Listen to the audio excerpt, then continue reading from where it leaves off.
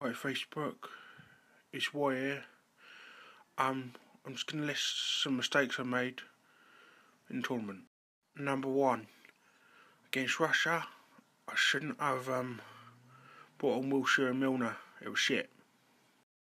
Number two, I should have brought Andros Townsend and Danny Drinkwater in the team. Number three, I shouldn't have let Kane take corners and Sterling be on the pitch. Number four, I should have brought on Rashford in the Slovakia game. He would have scored, or at least set one up. Number five, I shouldn't have made six changes for the Slovakia game. We needed to build on our confidence. Number six, I should have started Jamie Vardy in the crucial game against Iceland.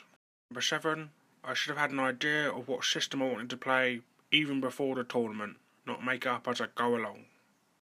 Number 8. I should have drilled the defence to get them to defend Iceland's throw-ins.